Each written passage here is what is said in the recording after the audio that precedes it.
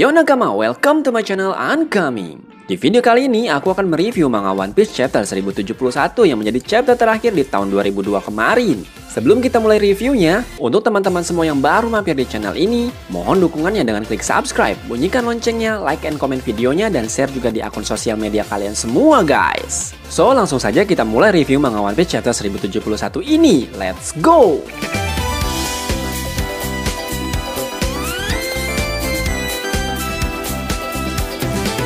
Chapter ini diawali dengan color speed kru topi jerami. Tapi ada yang aneh di color speed ini guys, di mana ternyata ada Uta bergabung di dalamnya. Dan ini akan menjadi perdebatan di kalangan fans, karena kita tahu meski cerita One Piece Movie Red bukanlah cerita canon, tapi karakter Uta ini sudah dikonfirmasi sebagai karakter canon. Dan color speed ini menggambarkan seakan-akan Uta ikut bagian dalam kru topi jerami tersebut. Karena selain Uta tidak ada lagi karakter non-kru yang muncul di color speed ini guys. Jadi apakah Uta next Nakama? Yoho, untuk sekarang tidak usah memikirkan hal ini ya. So, lanjut ke halaman pertama. Dimulai dari Red Line. Kuma asli yang sebelumnya di chapter 1067 pergi mendadak tanpa berkata apa-apa dari kerajaan Kama Baka. Ternyata di chapter 1071 diketahui Kuma pergi ke Pelabuhan Merah atau Red Port. Semua warga sipil di sana berlarian panik karena kedatangan Kuma. Terlihat sang mantan si Cibunkai ini melihat ke arah simbol pemerintah dunia di dekat lift yang menghubungkan Pelabuhan Merah dengan Marijua. Peringatan pun diumumkan oleh seseorang di pelabuhan tersebut di mana dia meminta untuk semua warga sipil menjauh dan segera mengumpulkan angkatan laut terdekat. Dia juga mengatakan meski saat ini Kuma melayani Tenryubito, tapi tidak diketahui program apa yang sedang ia jalankan sekarang. Kembali ke cerita utama di Pulau Egghead. Luffy yang saat itu telah ditinggalkan oleh Luffy, memerintahkan semua agen CP0 untuk memblokir semua pelabuhan dan menghancurkan kapal-kapal musuh yang ada di pulau tersebut. Stasi mengatakan bahwa sepertinya Lucy tidak berniat untuk menuruti perintah Angkatan Laut yang meminta CP0 untuk menunggu serangan kepada Vegapunk dan Yonko Luffy sampai pasukan Angkatan Laut tiba. Lucy yang sangat marah tidak peduli dengan Angkatan Laut, dia tetap ingin menghabisi Luffy dan Vegapunk. Lalu dia juga mengatakan bahwa dia tidak mengakui Luffy sebagai Yonko.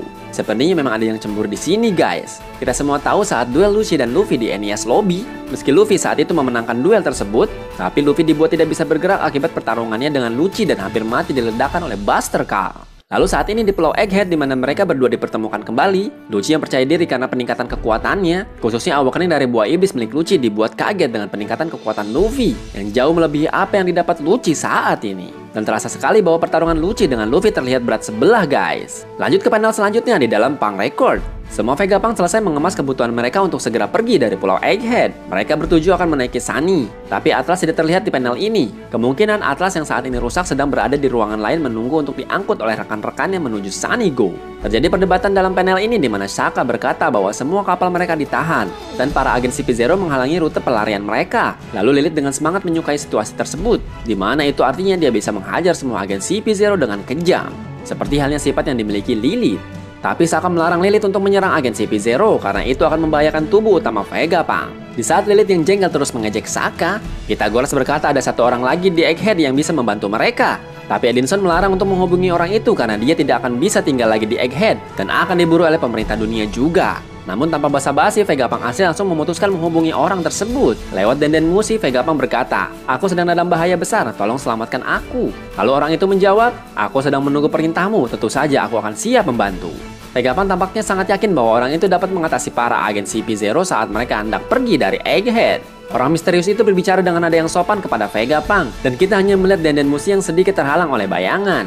Di dalam salah satu lorong lab, terlihat Bonnie yang sudah sadar berlari menuju ke arah Vegapunk berada. Dia sangat marah karena menganggap Vegapunk menyerang dirinya dengan menggunakan banyak serangga yang dibenci Bonnie. Situasi semakin kacau saat terdengar bunyi bahwa kubah penghalang pang rekod telah dinonaktifkan. Semua cloning Pegapang bingung dan bertanya-tanya siapa yang ada di ruang kendali dan menonaktifkan kubah penghalang ini. Tapi setelah Pitogoras mengeceknya di ruang kendali, ternyata tidak ada siapa-siapa di ruangan tersebut. Lucy, Kaku, dan Stasi yang berada di luar lab juga kebingungan dengan kubah penghalang yang tiba-tiba menghilang. Tapi mereka tidak mau membuang kesempatan ini untuk segera masuk ke dalam lab. Dengan menggunakan Gepo, mereka terbang menuju pintu masuk lab.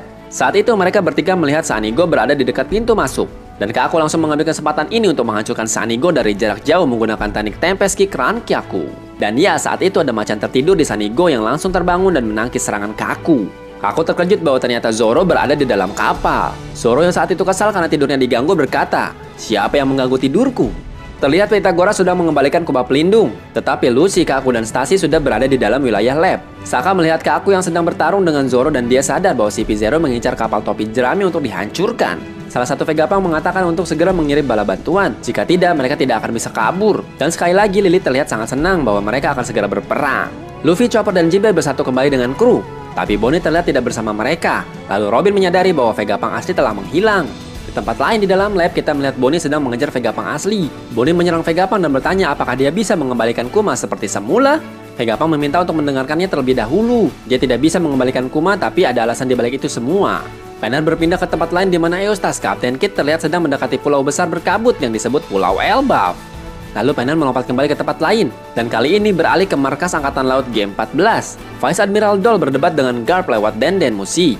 Dia mengatakan bahwa semua kapal harus menuju Pulau Egghead sekarang, dan Garp tidak akan bisa membawa kapal dari markas G14 untuk menuju Pulau Bajak Laut. Dan Doll juga berkata bahwa jika ingin menyerang salah satu Yonko, maka Angkatan Laut harus mempunyai izin terlebih dahulu. Dan seperti biasa, Garp tidak peduli dengan aturan izin tersebut. Di akhir panel, Gap mengatakan bahwa dia sudah tiba di markas Game 14. Lalu dengan keras dia memanggil Helmepo. Helmepo menangis dan berbicara lewat jendela bahwa dia merasa bersalah karena tidak bisa melakukan apa-apa ketika Kobe diculik oleh Kurohige. Lalu Gap berteriak, berhentilah merengek, kau hanya perlu naik ke kapalku. Berangkat ke pulau bajak laut, kita akan hajar mereka dan menyelamatkan Kobe.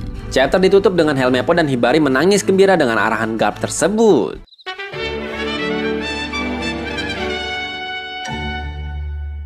Yoho Nakama itulah review manga One Piece chapter 1071. Terima kasih untuk semua yang sudah menonton video ini dari awal sampai akhir. Sekali lagi mohon dukungannya dengan klik subscribe, bunyikan loncengnya, like and comment videonya, dan share juga di akun sosial media kalian semua ya. So ya, yeah, sampai ketemu lagi di video selanjutnya. See you next time and bye-bye. Yo ho ho ho.